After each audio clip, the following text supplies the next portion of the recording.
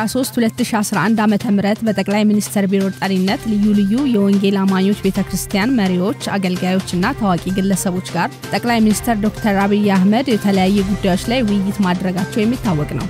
በውይይቱ በዋናነት እንደ ችግር የተነሳው በወንጌል አብያተ ክርስቲያናት አማኞች መካከል አንድነት አለመኖር፣ አለመተባበርና በአንድነት በመስራት ከመንግስት ጋር ባለው ግንኙነት የጋራ ድምፅና ኃላፊነት አለመኖራቸው ነው። በውይይቱ ማብቂያ ከልዩ ልዩ የወንጌል አማኞች ቤተ ክርስቲያን የአገልግሎት ዘርፍ ውስጥ ከስብሰባው ከተገኙ ቅዱሳን 15 ሰዎችን የያዘ ኮሚቴ ተዋቅሮ የኢትዮጵያ ወንጌላውያን ቤተ ክርስቲያናት አማኞችን ምክረ ሀሳብ አቅራቢ ኮሚቴ በመባል ተሰይሞ የሶስት ወር የስራ ጊዜ ተሰጥቶት ወደ ስራ ገብቶ ነበር። ኮሚቴው ዛሬ ጳጉሜ አምስት ከተሰጠው የሶስት ወር የስራ ጊዜ ላለፉት ሁለት ወራት ስለተጓዘበት መንገድ፣ ስለታዩ ተስፋ ሰጪ ምልክቶችና ስላጋጠሙ ተግዳሮቶች የተለያዩ የመንፈሳዊ ሚዲያዎችን በመጋበዝ መግለጫ ሰጥቷል። እንግዲህ ከሁሉ አስቀድሜ ሁላችሁንም በቡድኑ በኮሚቴው ስም ከልብ ማመስገን እፈልጋለሁ። እንግዲህ አጭር ጊዜ ነው የሰጠነው። በዚህ አጭር ጊዜ ውስጥ ጉዳያችን ጉዳዩ የእናንተም የሁላችንም ስለሆነ የእግዚአብሔር መንግስት ጉዳይ ስለሆነ ተሰባስባችሁ በዚህ መልክ በመገኘታችሁ ከልብ ከልብ ደግሜ ማመስገን እፈልጋለሁ እና በእውነት እግዚአብሔርንም እናመሰግናለን። ይህ እንግዲህ እናንተን የጋበዝ ነው። እስካሁን ድረስ ቡድኑ ምን እያደረገ ነበር ኮሚቴው እና በመጠኑ መሰረታዊ ነገሮችን ለመስጠትና ከዚያም በኋላ ቀጣዩ ሂደት ምን እንደሚመስል ፍንጭ እንዲሰጣችሁ በተከታታይ ወደፊት ደግሞ ቀጥለን አብረን የምንሰራበት ነው የሚሆነውና በመግለጫውም መጀመሪያ ኮሚቴ ወደ ስራ ከመግባቱ በፊት አባላቱ በጾምና በጸሎት ጉዳዩን ወደ እግዚአብሔር በማቅረብና እርስ በርስ በመቀባበል ወደ አንድነት በመምጣት ዋናውን ተልኳቸውን እንደጀመሩ ገልጸው የኢትዮጵያ የወንጌል አማኞች አብያተ ክርስቲያን ምክረ ሀሳብ አቅራቢ ኮሚቴ የስራ ሂደት አጭር መግለጫ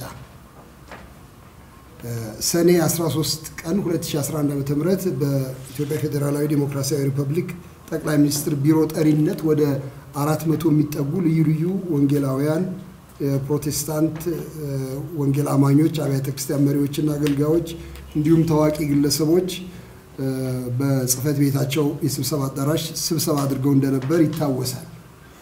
ይህ ስብሰባ ስብጥሩ ብዙ አጠራሩም ድንገት ከመሆኑ የተነሳ አብዛኛው የውይይት ጉዳይ ልዩ ልዩ መልክ ያለው ነበረ። ከቀረቡት ብዙ ጥያቄዎችና ሀሳቦች አንዱ የፕሮቴስታንት ወይም ወንጌላውያን ወይም ወንጌል አማኞች አብያተ ክርስቲያን አንድ ወጥ ገጽታ የሌላቸውና የተበታተኑ ከመሆናቸው የተነሳ በአንድነት ለጋራ ስራ ለመሰለፍና ከመንግስት ጋር በሚኖር ግንኙነትም የጋራ ድምፅና ኃላፊነት እንዲኖራቸው የሚያስችል ሁኔታ ለማበጀት ጠቅለል ባለ አወቃቀር ቢደራጁ ይጠቅማል የሚል ነበረ። ይሄ እንግዲህ ከቀረቡት ሀሳቦች አንዱ ነበረ። በዚሁ መሰረት ጠቅላይ ሚኒስትሩ ባካሄዱት ውይይት ማብቂያ ላይ ይህን ኃላፊነት ወስዶ መጠነኛ ጥናት በማድረግ ምክረ ሀሳብ የሚያቀርብ 15 ሰዎች ያሉበት የስራ ቡድን ተቋቋመ፣ ወይም ታስክ ፎርስ ተቋቋመ። ይሄ ኮሚቴ ኮሚቴ ብንለው ይሻላል። ይሄ ኮሚቴ ጥንቅሩ ከልዩ ልዩ የወንጌል አማኞች ቤተ ክርስቲያኖችና የአገልግሎት ዘርፎች ውስጥ በስብሰባው ላይ ተገኝተው የነበሩ ሰዎች ነው። የተሰጠው የስራ ዘመንም ሶስት ወር ያህል ነበረ። ከዚህ በታች በሶስት ከፍዬ ለማቅረብ የምሞክረው ምን ምን ነገሮችን እንደሄድን ለማሳየት ነው። የመጀመሪያው ኃላፊነታችንን መለየት ነው። ይሄ ኮሚቴ ወዲያው ስብሰባውን ጀመረ። በመጀመሪያዎቹ ስብሰባዎች ላይ የተደረጉት ነገሮች በጾምና በጸሎት ጉዳዩን ወደ እግዚአብሔር ማቅረብና የስራ ቡድኑ የተሰጠውን ኃላፊነት ምን እንደሆነ በትክክል ለመረዳት መሞከር ነበር።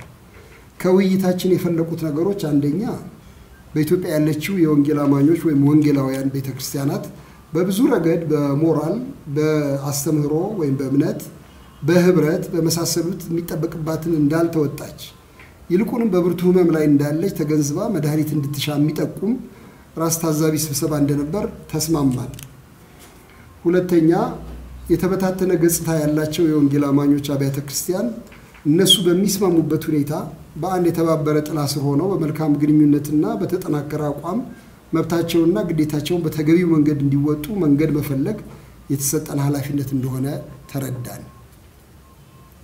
ሁለተኛው ጉዳይ እንግዲህ የስራ ስልት መቀየስ ነው። ይህንን ይህን ኃላፊነት ይህንን ይህን ዓላማ ይዘን እንግዲያው እንዴት እንሂድ የሚል ጥያቄ ነው የተነሳው። ከዚያ በኋላ በምን በምን የስራ ስልት በምን ስትራቴጂ እንንቀሳቀስ የሚል ነበረ። በዚህ መሰረት ኮሚቴው አደራውን የተቀበለው ከጠቅላይ ሚኒስትሩ ብቻ ሳይሆን ተሃድሶና አንድነትን ፍቅርንና ጽድቅን ከህዝቡ ከሚሻ ከልዑል እግዚአብሔር እንደሆነ አስቦ የስራ ስልት ለማውጣት ተስማማ። በልዩ ልዩ ተግባራትና የጊዜ ሰሌዳ ተጣጥሞ የቀረበ ንድፍ ተዘጋጀ። ዋና ስልቱ ይህን ኃላፊነት ዳር ለማድረስ የሚረዱ ንዑሳን የስራ ቡድኖች ወይም task forces ማዋቀር ስለነበር በዚሁ አካሄድ አስር ያህል ንዑሳን የስራ ቡድኖች ተቋቋሙ።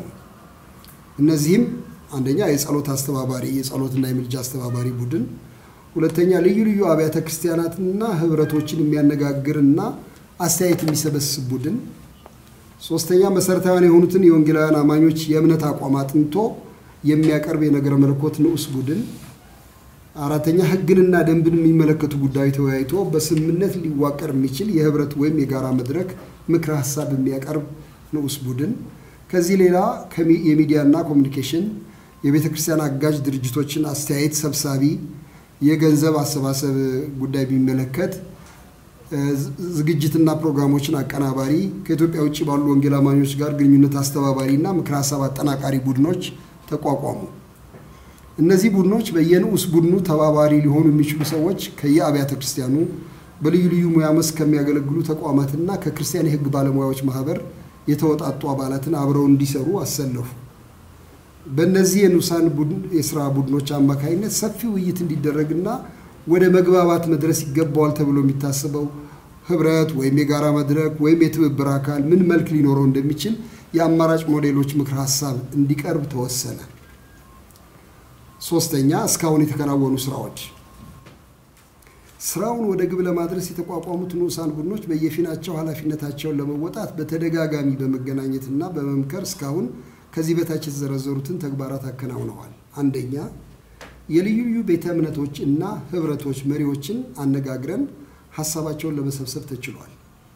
በእነዚህ ውይይቶች ውስጥ ብዙ ጥያቄዎችና አስተያየቶች የተነሱ ሲሆን ጎልቶ የወጣው ሀሳብና ምክር ነባር ህብረቶችና ቤተ እምነቶች ነፃነታቸውና አሰራራቸው እንደተጠበቀ ሆኖ ሁላችንን በጋራ ዓላማ ስር የሚሰበስብ አካል ሊመሰረት የሚችልበት ምክር ሀሳብ እንዲቀርብ የሚያበረታታ ነበር ማለት ይቻላል። ኮሚቴው በመግለጫው እርስ በርስ ያለንን ልዩነት ለማጥበብ አንድ በሚያደርጉን ጉዳዮች ላይ በመስማማትና በአስተምሮና በልዩ ልዩ ልምምዶች ያሉንን ልዩነቶች ለማጥበብ በዚህም ሂደት ውስጥ በመሰረታዊ የመጽሐፍ ቅዱሳዊ የወንጌል እውነት ላይ የጋራ ጽኑ አቋም ያለው ህብረት ወይም ጥምረት ወይም ትብብር ገና ስሙ ያለየለት ነገር እንዲሆን ሀሳብ ተሰጥቷል።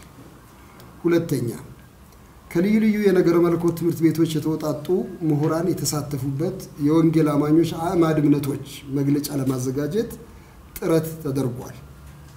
ሶስተኛ የጋራ ዓላማችንን ለማሳካት በሁላችን ስምምነት ሊያሰባስበን የሚችል አንድ አካል ለማዋቀር ልዩ ልዩ አማራጭ አወቃቀር ሞዴሎች የሚያሳይ ህጋዊ ንድፍ ለማበጀት ጥረት እየተደረገ ነው።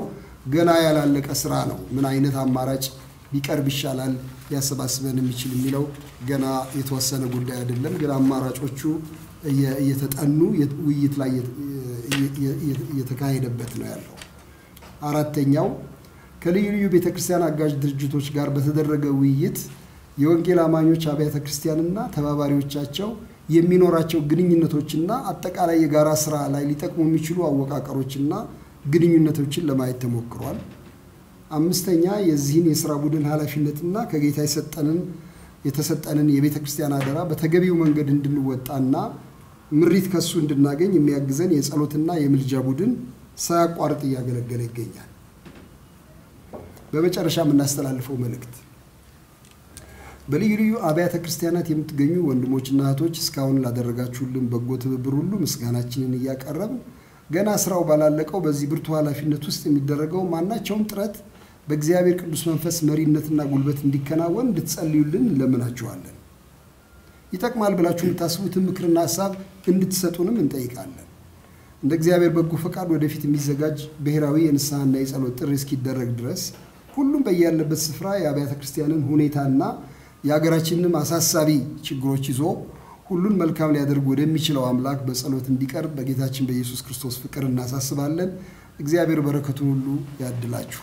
የጸሎትና የምልጃ ልዩ ልዩ አገልጋዮችን በማነጋገር መሰረታዊ የእምነት ትምህርቶች ላይና የሕግና ደንብ በተመለከተ በስሩ ንዑስ ኮሚቴዎችን በማቋቋም ስራውን የጀመረ ቢሆንም የተሰጠው ጊዜ አጭር በመሆኑ ለብዙ ዓመታት ስር ሰዶ የቆየውን ችግር ለመፍታት በቂ ባይሆንም እንዲህ መነጋገር መጀመራችን ለውጥ ለመጀመር መንገድ እንደሆነ የተገለጸ ሲሆን ኮሚቴው በብዙዎች ዘንድ በጎ ተቀባይነትን እንዳገኘ ተናግሯል።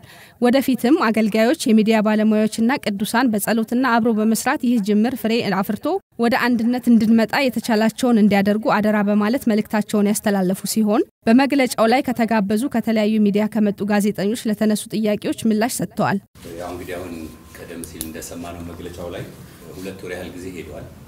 የቀረው ምናልባት አንድ ወር ይመስለኛል እና በዚህ አንድ ወር ውስጥ ያላለፉት ነገሮች ያልቃሉ ወይ? የጊዜ ገደቡ የተወሰነ ነው ወይስ ሌላ ተጨማሪ ጊዜ ያስፈልጋቸዋል? እንደሰማነው ያላለፉ ነገሮች እንደውም በዛ እንዳሉ ነው። ስለዚህ የአንድ ወር ጊዜ ነው ወይስ ተጨማሪ ቀን አላችሁ ወይስ በአንድ ወር ጊዜ ትጨርሳላችሁ የሚል እስካሁን በነበረው የስራ እንቅስቃሴ ምናልባት ያጋጠሟቸው ችግሮች፣ ተግዳሮቶች ካሉ ምንድን ናቸው? ለዛስ ደግሞ የሰጣችሁት ምላሽ ወይም መፍትሄ ምንድን ነው ያደረጋችሁት? መጠየቅ የምፈልገው እንግዲህ ብዙዎቹ የአብያተ ክርስቲያናት እንደሚታወቀው የራሳቸውን ቻናል አላቸው። ይሄ ነገር ሁላችንም እዚህ በመገኘታችን በመጀመሪያ የመጀመሪያ ፈርቀዳጅ ነው ብዬ ነው የማስበው። በዚህ ደስተኛ ነው። ግን እያንዳንዳቸው አጋጣሚው ስላላቸው በዚህ ጉዳይ ላይ ያላቸውን አስተሳሰብ ምን አይነት ስራ መስራት እየፈለጉ እንዳለ ማለት የሁሉም ሀሳብ እየተሰበሰበ ከሆነ ፈቃደኝነታቸው ካለ በራሳቸው በኩል ህዝቡን ወደ አንድነት ለማምጣት ሁሉም የራሳቸው ተከታዮች አላቸው። ስለዚህ በራሳቸው ሚዲያ ማድረግ የሚችሉት ነገር እንዳለ የታወቀ ነገር አለ። የእነሱ ሀሳብ እነሱ ነቢያቶቹም፣ ፓስተሮች፣ ሐዋርያቶች በሚችሉት ነገር ከዚህ ሀሳብ ጋር እንደተስማሙ ማረጋገጫ ያለው በምን መልኩ ነው? በመጀመሪያ ጊዜው በእርግጥም almost አልቋል ማለት ይቻላል። ከሁለትም ወራት በላይ ሄደናል። ዋናው ነገር አስፈላጊ ከሆነ ይራዘማል ብለን እናስባለን። ምክንያቱም ይሄ ትልቅ ቁም ነገር ዋና መሰረታዊ ነገር ስለሆነ በችኮላ ሰርተን የምናፈርሰው ነገር መሆን የለበት። በጥንቃቄ ጊዜ ተወስዶ በረጋ መንፈስ መሰራት ያለበት ስለሆነ እየሄድንበት ነው። ብዙም ያስቸግራል ብዬ አላስብም፣ ግን ጊዜ መጨመር የግድ ሳይሆን አይቀርም እና ያንን ጉዳዩ ከሚመለከተው አካል ጋር የምንወያይበት እና መልስ የምናገኝበት ነው የሚሆነው። በሌላ ሁኔታ እስካሁን ያጋጠሙ ችግሮች አሉ ወይ? በመሰረቱ እኮ አብሮ ቁጭ ብሎ ተነጋግሮ የማያውቅ አንድ ላይ ሲመጣ የተወሰኑ ጊዜያቶች የራሳቸው የሆነ ጫና አላቸው እና ያ ያ አንዱ አንዱ ነገር ነው። ግን ደስ የሚለው ትልቁ ነገር ምንድን ነው መሰለህ? ከችግሮች ይልቅ ተሰባስበን መነጋገር መቻላችን እና ወደዚህ ደረጃ ደግሞ መድረሳችን። ምክንያቱም እያንዳንዱ ነገር የሚሰራው ችግር የሌለው ስራ የለም። ችግር ያለበት ስራ አለ። ግን አንዱ ሌላውን ትረስት እስከሚያደርገው እስከሚቀባበል ቁጭ እንደው ተቀምጦ መደማመጥ እስከሚቻል ድረስ ጊዜ የወሰደውም አንዱ እሱ ነው። ግን አሁን ያንን አልፈነዋል እና መልካም ነገር አለ። ይሄ የሚያሳየው ምንድን ነው? መልካም ሁኔታ ነው ያለ ነው የምለው ትልቁ ነገር ቀደም ወንድሜ የጠየቀው እየሄደ ነው የምለው ቢያንስ ቁጭ ብለን መነጋገር ችለናል። ከዚያም አልፈን በስነ መለኮት ዙሪያም ከሆነ የስነ መለኮት የተለያዩ ሰዎችን ወንድሞች፣ እህቶች በማሰባሰብ እንዲነጋገሩ አድርገን ወደ አንድ አቅጣጫ እየመጡ ነው። ይሄ እንግዲህ ካሰብነውም በላይ ነው በበኩሌ የሆነውና መልካም ነገር ነው። በደንብም በኩል የነበሩ ህብረቶች ሳይነካ የአብያተ ክርስቲያናትን ነገር ሳይነካ በፍጹም ጥንቃቄ ሁላችንንም ሊያሰባስብ የሁላችንንም ይሁንታ እንግዲህ ሁላችን ስል ጀስ መቶ መቶ ሊሆን ይችላል ብዬ አላስብም። ከሆነም እሰየው። ያንን አይነት ሁኔታ እየተሰራበት ነው ያለው እና ብዙ መንገድ ሄደናል። ስለዚህ መልካም ነው። ከዚህ በኋላ ያለው ቀሪ ነገር እንደ መጀመሪያው የሚከብድ አይሆንም እና መልካም ሁኔታ ላይ ነን ያለ ነው ስል ከዚህ አንጻር ነው የተናገርኩት። በራሳቸው ሚዲያ ምን ያደርጋሉ? ከዛሬ ነው የሚጀምሩት። ቅድምም ሆን ብዬ ነው የተናገርኩት። በዚች ሀገር ላይ የወንጌላውያን አብያተ ክርስቲያናት ምዕመናን መሰባሰብና አንድ ላይ ቁጭ ማለቱ በራሱ ትልቅ መልእክት አለው። ለሀገር መልእክት አለው። ለመጪው ትውልድ መልእክት አለው። እዚያ ላይ እናንተም ከእኛ ጎን ሆናችሁ መስራት አለባችሁ። ጥሪም ነው የምናደርገው። እዚህም ውስጥ የተነበበ መጨረሻው እንድትረዱን ሲል እናንተን ይጨምራል እና ሌሎችም ይህንኑ ፈር ተከትለው ይሄዳሉ። ተግባብተናል ብዬ አስባለሁና ስጋት አይኖረንም። ወደፊት ደግሞ የጨለማውን ሁላችንም በጋራ እየገፈፍ የሚያቀራርብ ነገር ላይ ለመድረስ እንሞክራለን። እስካሁን ያለው ከችግሩ ስፋት አንጻር መልካም ጅማሬ ቢሆንም ወደፊት ኮሚቴው የወንጌል አማኞች አብያተ ክርስቲያናትን በማማከር ሰፊ ስራ እንደሚጠብቀው ገልጸው የሁሉም ወገን ቀና ትብብር ጠይቀዋል። ከልዩነታችን የበለጠ አንድነታችንን አስቀድመን እጅ ለእጅ በመያያዝ የእግዚአብሔርን ቤት እንድንሰራ ጸጋው ይብዛልን። Jesus Wonderful TV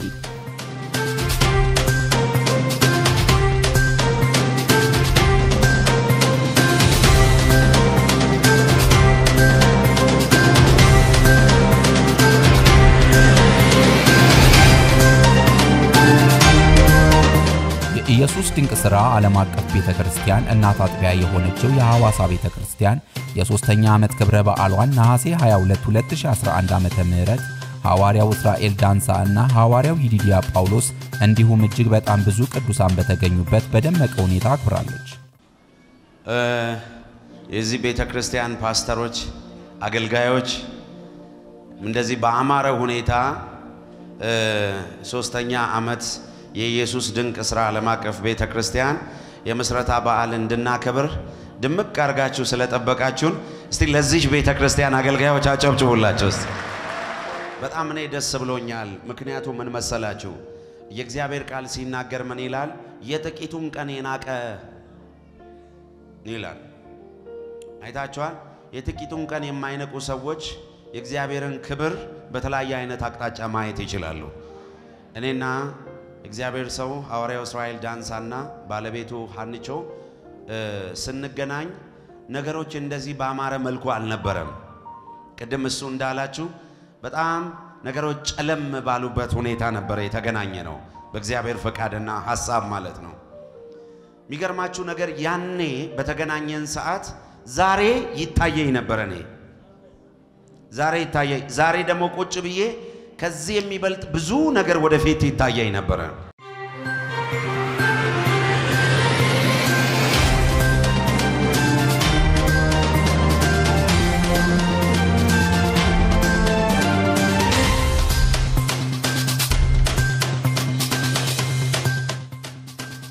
የ2012 የዘመን መለወጫ በዓልን ምክንያት በማድረግ የኢየሱስ ድንቅ ሥራ ዓለም አቀፍ ቤተ ክርስቲያን ወላጅ አልባ የሆኑና በጎዳና ከሚኖሩ ልጆችና ወጣቶች ጋር ነሐሴ 27 2011 ዓ.ም የአንድነት ጊዜ አሳልፋለች።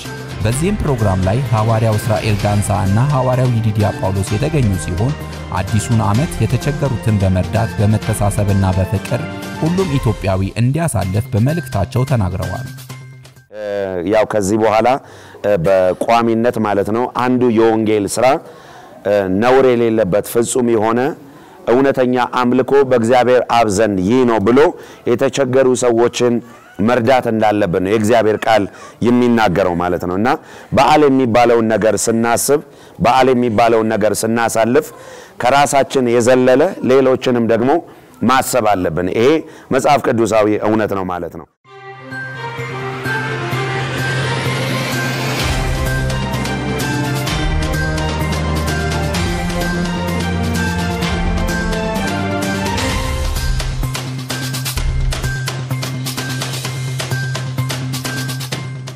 የኢየሱስ ድንቅ ሥራ ዓለም አቀፍ ቤተ ክርስቲያን የ2012 መሪ ጥቅስ በድል የመጨረስ ዓመት ሲሆን ይህም መሪ ጥቅስ በሐዋርያው እስራኤል ዳንሳ እና በሐዋርያው ይዲዲያ ጳውሎስ ነሐሴ 28 2011 ዓ ም በአዲስ አበባ አጥቢያ ታውጇል።